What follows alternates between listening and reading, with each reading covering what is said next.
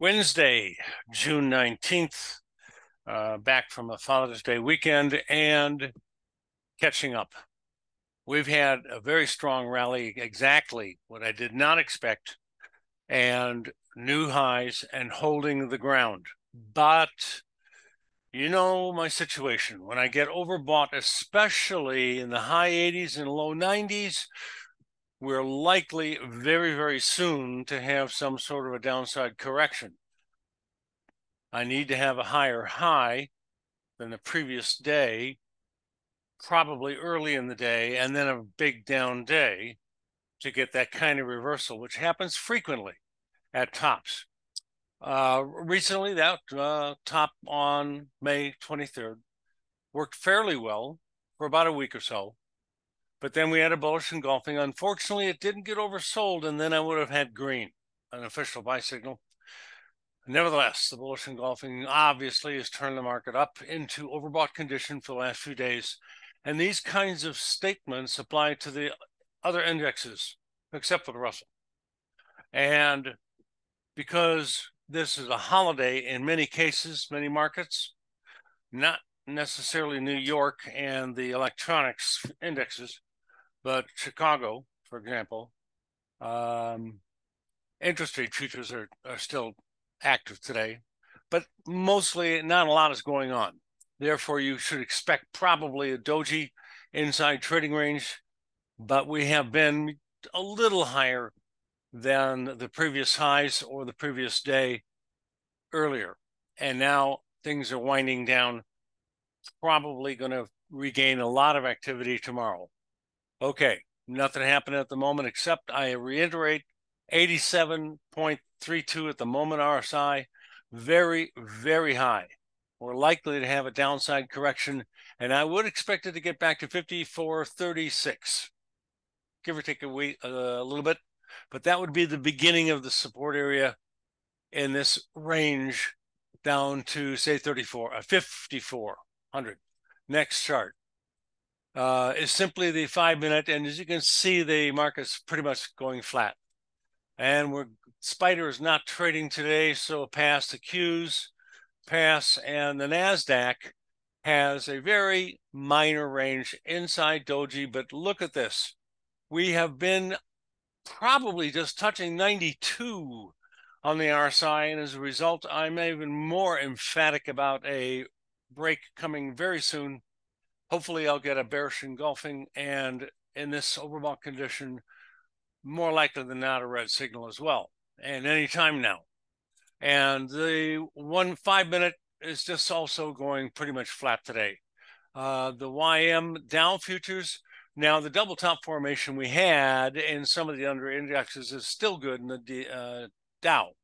So we did catch the two highs and the last one was on May 20th perfectly. That's great for the DIA. And the lowest low between the two highs, all ER signals. Lately, we've had a very quiet sideways trading range, which does not kill the double top, although it is unusual to see it go sideways this amount of time in a very small range. We need to start making lower lows than a few days ago and new lows for about a month and a half in order to perpetuate the double top likelihood. The downside breakout would be at 37,862, closing below there. And then the minimum downside objective should, could, we hope, be 35,088. Next chart. And today it's been drifting a little bit lower. Next, the Russell. Major long term historical resistance stopped the rallies for the last couple of years. Did it again. Overbought conditions, old news. That's a month ago. We recently had new lows since then, and it's been stair stepping its way down nicely. And there's no reason to believe it's going to change so far. Neutral RSI, no particular major support area, real close by, a little lower, 1980 ish. Next chart, just a five minute version of the same thing. And the bonds had a bearish engulfing um, a day or so before I left, and It did work its way lower only for one day. Plenty of room for uh, ER1 scalp and a uh, potential ER3 scalp if you get filled. Now, minor new highs creeping its way up. What's the most important thing here? I believe it's the channel that we did break out of and had a test to the top of it and now have made new highs again. So I'm looking for higher levels, not necessarily super fast. There could easily be a downside correction. I see my RSI is not doing what I would expect it to do. Something went wrong on that. But I'm expecting it to be relatively overbought, but not necessarily above um, uh, 75. It hasn't turned yellow yet, but probably is around 70. And for 10 year notes, same situation. We broke out of that its channel uh, a little precariously, but finally, and now made higher highs again. So that looks optimistic. But again, I could expect, and the RSI is fine here at around 61, to have a small sideways downside correction at any time, but I'm bullish. And I have alluded to that for a long time, uh, since last fall, I believe even during the downward slanting channel, because those are usually bullish formations to begin with. And it's proving to have turned around so far, so good. Over what, two months now, we've had a higher high and no lower low, a higher high, a little, a little bit of a dip, and then another higher high. So, next stalling out point on substantial fast strength, which I'm not so sure we're going to get, might be around um, 112 and a half. And then, of course, you've got the double top in here, which worked great to deal with. After that, it's really going to keep going a long time more, I think. And uh, that's long term bullish indeed. Next chart is the crude oil open today in New York. And we're getting a new high at the top of resistance area and overbought. A couple of my favorite combinations. Looks like it could have a downside correction any moment. And if I can get a bearish engulfing, I will probably have a red bearish ER sell signal. Next is the natural gas trading today. Not very large range, but a little higher than yesterday. And we're kind of very neutral territory here. Maybe this sort of double top will kick in if we can start to make new lows again, which would produce a test at a minimum of the lowest low for the trend. Hmm. That could be long term bearish. On the other hand, if it started to make a third and then higher high, we're going to go all the way up into this green zone, major historical resistance. So kind of neutral at the moment. Next, heating oil trading today, a higher high touching um, resistance area. And out of the last four days, we've been overbought three out of four. So overbought again today at resistance could have a downside correction at any time. But unfortunately, there is fairly good support relatively close by. So the correction on the downside I would be expecting at any time may not drop off much more. I mean, and you've got a little trend line that uh, could offer some support as well, maybe. So we're between a rock and a hard spot, maybe. Next double top formation in gold, which is New York, silver, copper, platinum, and pretty much nothing happening for the last week or so. Support held. The double top looked like it was about to have a downside breakout, but you do need a close below previous lows. Otherwise, you've got yourself a bear trap sometimes, which is exactly what happened here. So it rallied for two days. Nah, nothing happened next. I'm looking for a downside breakout. Next, silver. Don't see anything particularly super bullish about the last low a few days ago. A little bit more of a rally could easily turn this down again. I think it's most important that it got terribly overbought and has now been zigzagging its way lower lows, lower lows, etc., and lower highs for a couple of months. I think that's going to continue. Next stop on the way down, uh, I think 27.785 ish. Next, We've got a little rally going in platinum for a couple of days after being oversold, uh, a couple of days after I left. So Uh, it managed to turn around, but I haven't got any signal on the bottom, unfortunately. If we're going to rally, it'll be probably be up to 1019 ish, and that's about it. And that could form a head and shoulder top, especially if it took, I don't know, what are we looking at? The top of the market, we got to the exact day so far. Neckline would be from here to here. Last shoulder would be, come on, move.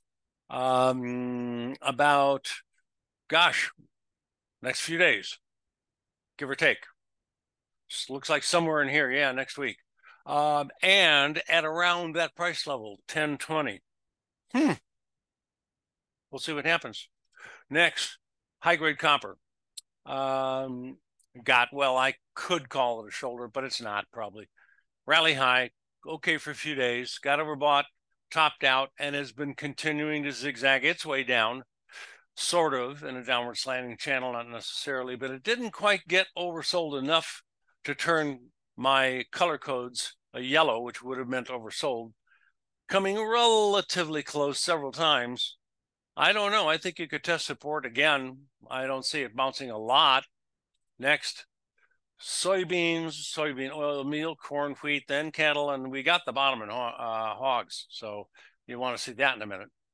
Um, beans, support may hold this market. We're getting very close to oversold conditions on the breaks. It needed uh, just a little bit more to get to its minimum downside objective, which did put it in jeopardy of making a new low and therefore crashing. But I think support has a good chance of holding it because we're very close to uh, oversold conditions. The next few days, it might just start to turn around and go back up again uh, how about oil? Oil has been holding extremely well in a support area two times now and has managed to rally uh, yesterday. Remember, this is Chicago Board of Trade stuff, uh, the next few charts. And uh, today it's closed, but that's a minor upside breakout. So major support is doing its job. And I'm looking for a challenge of 4677, uh, 4680, and probably higher. Next, meal.